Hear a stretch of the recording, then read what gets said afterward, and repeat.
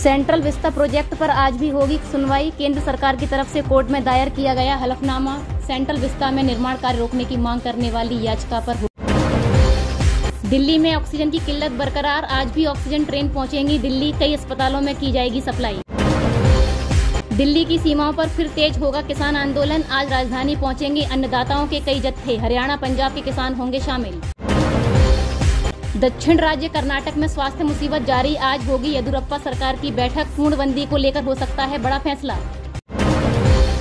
महामारी को लेकर संयुक्त अरब अमीरात ने उठाया सख्त कदम। यूएई ने पाकिस्तान समेत चार देशों पर आज से लगाया ट्रेवल बैन। इसलिए इसमें भारत शामिल नहीं। स्वास्थ्य मुसीबत को लेकर तेलंगाना सरकार का बड़ा फैसला। आज से 10 दिन तक का फुल लॉकडाउन का ऐलान। केवल खोली जाएँगी ज़रूरत की सामग्रियों की दुकानें। अमेरिका में महामारी के बीच लोगों को मिलेगी राहत। अमेरिका में आज से 15 साल तक के बच्चों को लगेगा फाइजर का टीका। लोगों ने शुरू किया रजिस्ट्रेशन।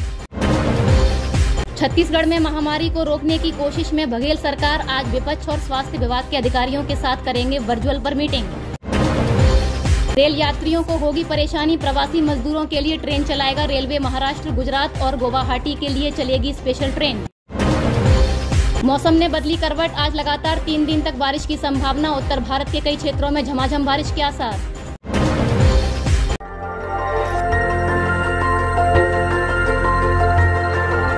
देखते रहिए डीबी भारती समाचार। नज़र हर खबर पर।